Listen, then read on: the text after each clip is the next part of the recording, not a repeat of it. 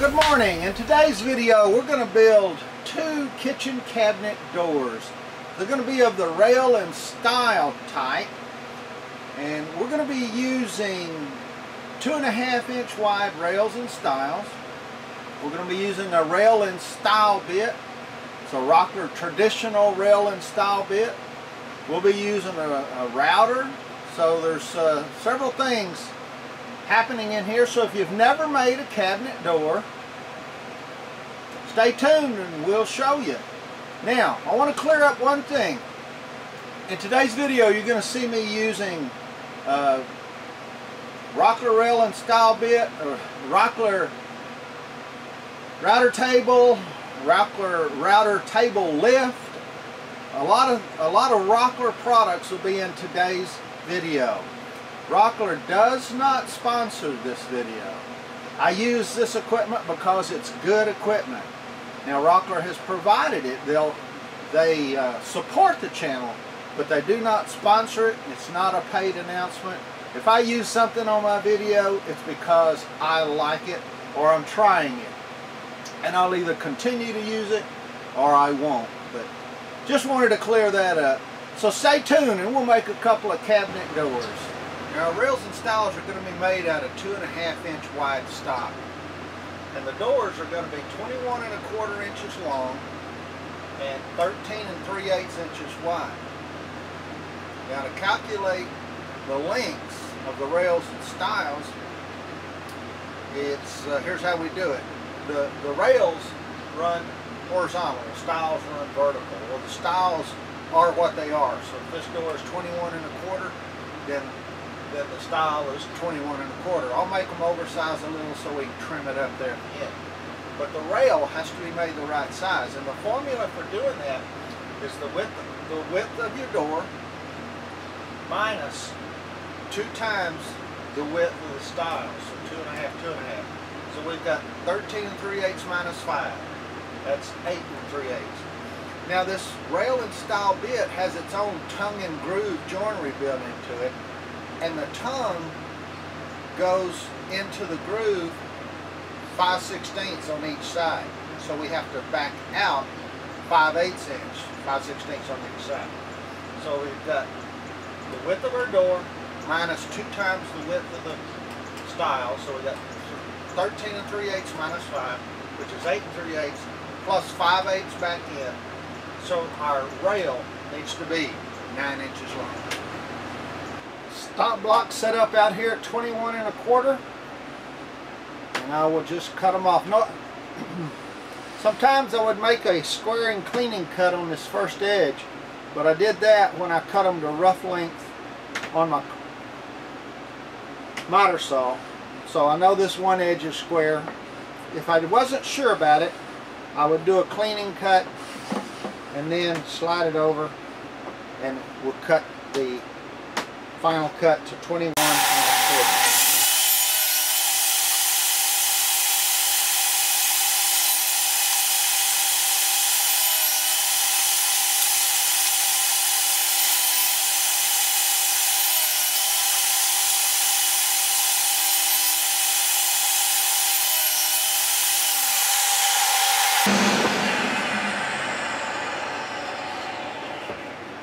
Now we adjust that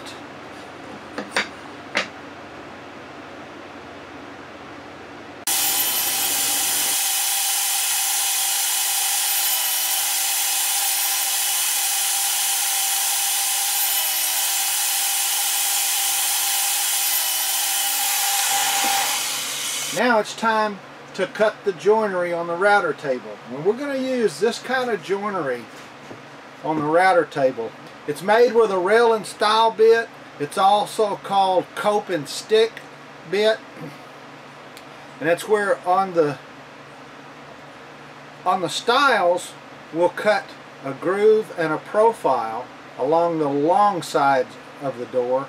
But then the short sides it's what is called the cope cut.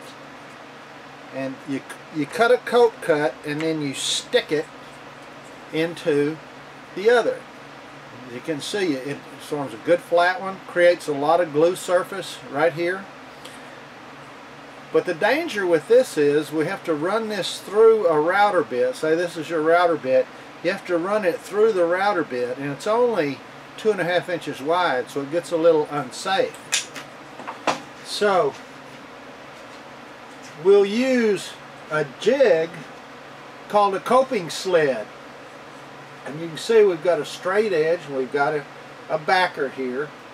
And all we do is butt this up against the fence, put your rail face down up against the fence, and then clamp it down, and then we can run this whole thing through much safer. Give you a good close-up. I've got the bit to cut the cope cut on the rail installed. Now this is a two-bit set. This one cuts that cope cut that I just talked about. The second bit in the set cuts the, the, the rail profile that we talked about right here. It'll cut the groove for the center panel and then put kind of a little ogee edge. So, and I cut, some people cut the, the uh, stile profile first. I like to cut this one first. Uh, that way if it chips out a little then it'll be cleaned up on the first pass of the other. And again, our setup for this is put our coping sled against the sled. First of all, the fence is adjusted so that the edge of the sled is in line with the fence and the bearing. You just adjust your fence to where it's a solid line, alright? Then you push your coping sled against your fence. Now, on these bits, you always want your face down. The face that's going to be outside that people will see, that will be face down. I have marked my setup block is face down. Now, Rockler sells a real good setup block. This one is for both. Um, this one side sets the cope, the coping bit, and this other side sets the rail bit. It's made out of a, a this high, hard, hard density poly something or another. Um, but what I like to do is make myself a wooden one that matches. It wears a little better and uh, this one kind of scratches. But to set it up,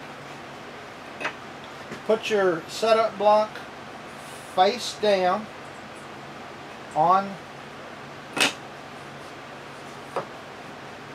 on the sled both of them against the fence clamp it down and then you adjust your bit until until it's it sits until it sets up nicely here. You can see I've, I've got the height set perfect. Now the two setups will be a little different because we're setting this on about a 3 16 inch platform for our sled. On the other one we won't. It'll set it flat up against the table. So you can see we're backed. As we make our cut, we'll be backed by our backing block. So that'll prevent tear out from there. So now we are ready to cut the coping cut on our four rails. We're going to make two doors exactly the same side. Do your homework. Have your side pit that you want to be the face. I've got my face marked for each one of these four rails. So we put it up against the fence, up against our block, clamp it down, and we are ready to make these cuts.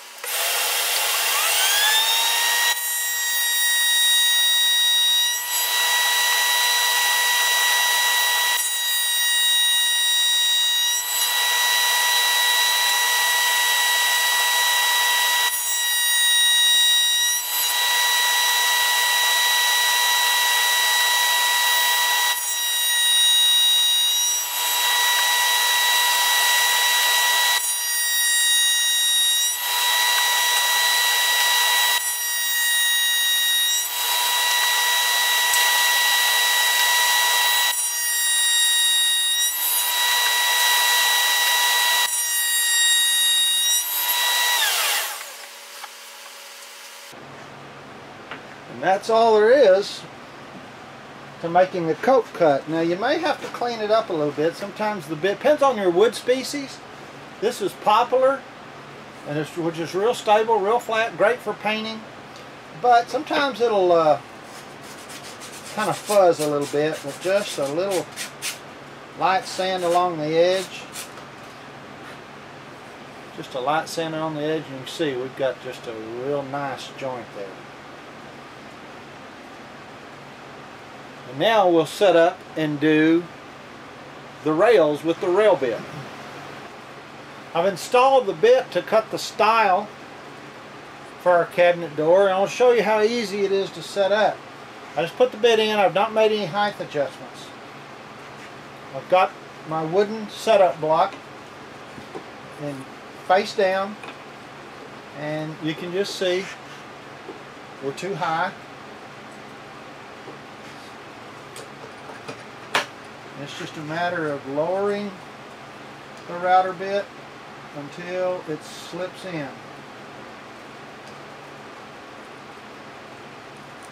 There. That is our setup. That easy. And then to set the fence, bushing, front of the bushing is in line with the fence. Lock it down. Now we're ready to cut our stiles. I've identified which side the face is down, always face down. Now I'm ready to cut them.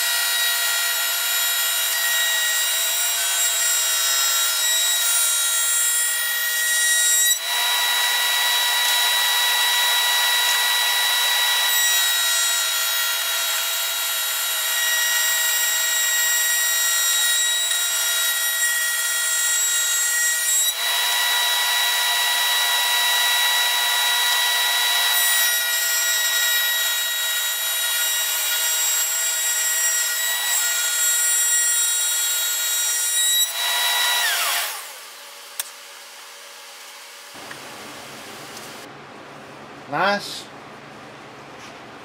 Matches nice. Clamp it up and it'll be a lot of glue surface there. It's just a nice joint for a cabinet door. And on the inside, you can see our little profile. Now, we'll dry fit them and measure for the dimension of the panel. Hey guys, before we move on, I just want to say I appreciate everybody that tunes in. I appreciate the comments, appreciate the feedback. At the end of this video, if you like it, give us a thumbs up and leave us some comments. And if you're a first time viewer, subscribe to our channel. We appreciate it. I've been calling it LLS. Like, leave us a comment, and subscribe. But we appreciate it. All my social media information is in the description below as well as some links to some other videos that will help you in this like the uh, router table basics and the one how to make a knob different things so. But appreciate it and now let's finish these doors. As I said earlier the panel sits in I think I said a quarter inch but it's actually 5 sixteenths each way. So our panel width is the same as the rail and in this case we said that that was 8 and 7 eighths. And the panel length is going to be the same as from this molding line to that molding line. That's the 5 16ths that we were talking about. And in this case it's going to be just short of 17 about 16 and 15 sixteenths. So I need to make two panels, 8 and 7 eighths by 16 and 15 sixteenths inches long. Well, you can see I got my panels cut and I've got them dry fitted. And this is this is our doors. Now I'm going to take them apart and we'll glue them up. Before you start your glue up, you want to make sure you have all of your tools. You have your glue, your brushes, your clamps. Make sure everything is nearby. And what we're going to do here, you see me picking the residue out of the joint. Remember when we cut the joint, the router bit left a little fuzz on the edge. Well, all of that has to be cleaned up. That's all I'm doing here, light sanding on the edge of the joint to get the fuzz and residue out of the joint so that it'll pull nice and tight. And it's just a matter of uh, adding glue to all of the surfaces. You see me using this little Rockler glue brush and they're pretty nice because you don't have to clean those up. Glue doesn't stick to them. It's real easy to wipe them away make sure that glue is in all surfaces both in the rails and in the stiles and now we're going to insert the panel and when we made our panel we made sure that it was square and to the dimensions and insert it and then it this helps keep the door square as we apply glue to the last sections of the joint as we apply the last stile that completes the door.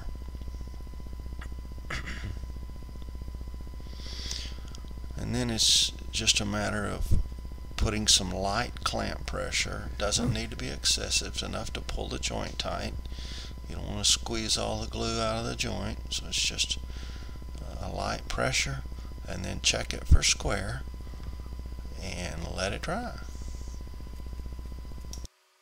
Now I just glue the other one. I took the doors out of the clamps and the joints glued up real nice. And here they are after taking them out.